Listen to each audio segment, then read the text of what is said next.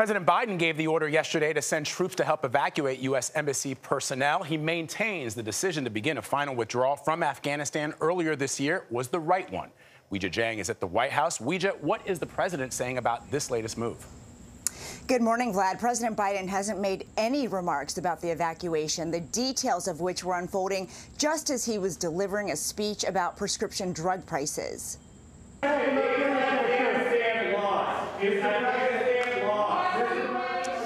Earlier this week, though, the president stood by his decision to pull U.S. troops out of Afghanistan by the end of this month, insisting Afghan forces must fight for themselves.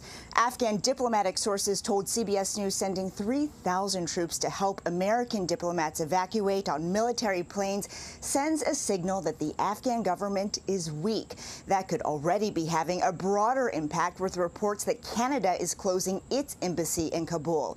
The fall of the city of Ghazni Wednesday launched the U.S. plan into motion because of the city's close proximity to Kabul.